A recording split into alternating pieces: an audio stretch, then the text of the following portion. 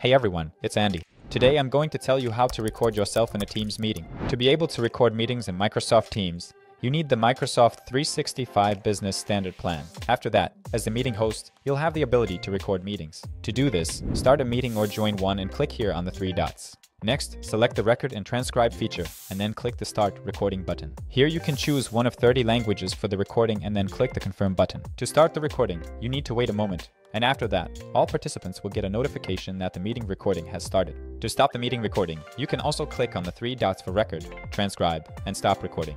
Or you can just leave the meeting if there are no participants left. Your meeting recordings will appear in the General tab. Here you can see a list of all the meetings you've held. You can click on See Details. Here you can review the meeting. Here in this window you can go to the meeting link and review it. As a result, you receive AI notes. You also receive a transcript that is generated. It is worth noting that AI notes are not always generated after the meeting. You can also review the video here, listen to the part you need, and in the meeting notes, check out any additional information. This arrangement of files isn't always convenient, and depending on the status of the meeting, recordings can be stored in different places. You can also find the meeting in the Files tab. Go to the Recordings tab. And here you can find the meeting that was held. Click on it to access it in a separate window. In this window, you can use the Microsoft Copilot feature if you have it enabled, and it will be able to generate the information you need based on your request.